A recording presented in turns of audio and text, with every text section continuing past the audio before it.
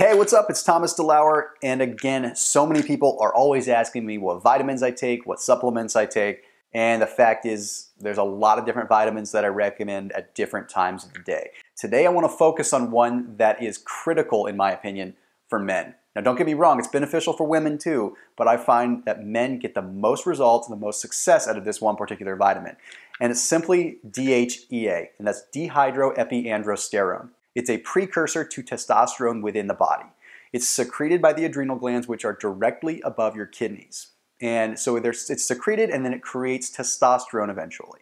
And through that conversion process, it's converting what are called Leydig cells to mesh with cholesterol, which is formed by your liver, to create testosterone, which is what gives you your masculine qualities and gives you the muscle mass that you want.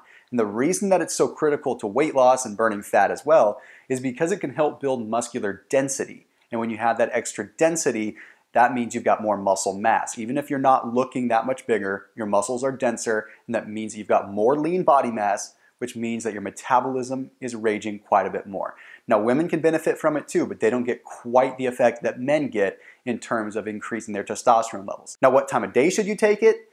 Take it first thing in the morning or immediately after a workout if you work out in the morning because your testosterone levels are highest mid-morning. If you can take the dehydroepiandrosterone or DHEA in the morning, then that means that that conversion rate is going to be working perfectly in tune with when your testosterone levels are naturally their highest. So give it a shot. You just need about 25 to 50 milligrams per day.